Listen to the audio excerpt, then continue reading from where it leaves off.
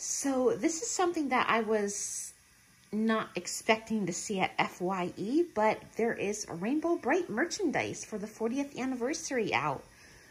This is in stores at FYE if you're a fan of Rainbow Brite, like I am. The blanket is $35. Not sure when this is going to hit the websites or if it will. There's probably three of them, but our, our friend Brandon uh, bought this for me for a Christmas gift because I screamed when I saw this. But it's got Starlight on the blanket and everything. I, I can't decide if I want to open this or just keep it in the packaging as a collector. I might just buy a second one for myself. But yeah, I, I, I just had to show you this. This is so cool.